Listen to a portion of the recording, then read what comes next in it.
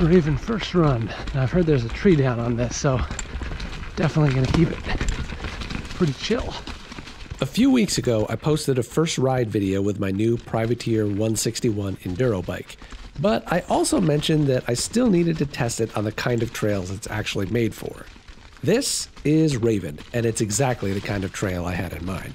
For those who don't know, Raven is a black technical trail at Blackstrap Hill Preserve in Falmouth. It's not super steep, although it's steeper than this GoPro footage makes it look, but it is fast and chunky almost all the way down, with a few slower sections and a couple of optional drops.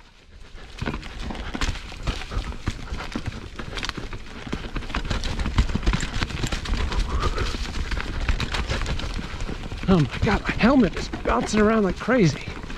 I'm Not sure that's a good thing.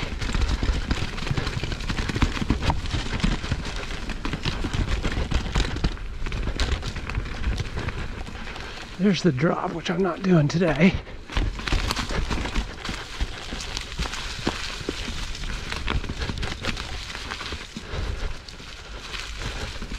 Oh, it's also creaking like crazy. I hope you can't hear that in the video, but if you can, I'm sorry. This is my first ride of the year here, and also I'm not good at bikes, so I'm not exactly flying. But I have to say, the 161 is really confidence inspiring, and it is fast. Pointed downhill, it kind of just doesn't care about chunk, and if you see me going slow here, it's because I'm dragging the brakes, not because of the bike. It's not a super plush ride, but it's also not harsh, if that makes sense. I'd say it's more like you can feel the trail, but you're not getting thrown around or anything like that. Now, obviously, it's still early days with this bike for me, but it does seem like it rewards a slightly more aggressive, active riding style, which is something that I saw in some of the reviews. I didn't get any footage of the climb because it's boring, but the climb trail here is blue single track with some tight switchbacks, and this bike felt comfortable all the way up.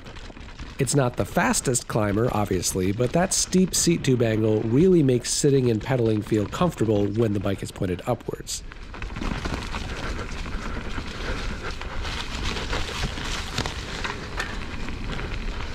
Think this is the area where there would be a tree down. It's possible someone cleared it. But these, looks, maybe that was it right there. Long story short, my first impression is that the 161 is exactly what I hoped it would be. A very capable enduro bike for the kind of chunky tech that we have around here. But this is really just the first test, so stay tuned. I'm hoping to get up to Mount Abram during opening weekend to put it through its paces there. And of course, I'll be doing a video review once I've got more time and miles on the bike. I'm also coming up on a thousand miles on the Druid pretty soon, so I'll likely be doing a long term review of that fairly soon too.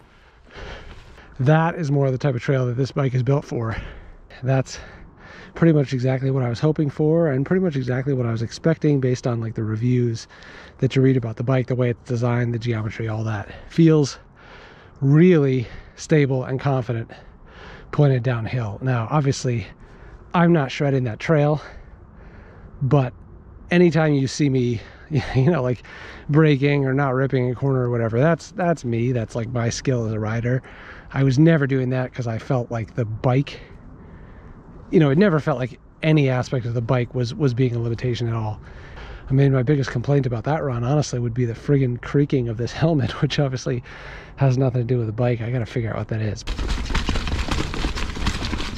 This is footage from another Raven run, and I won't show you all of it because it ended up being slower, but I just wanted to say that the squeaky helmet is gone.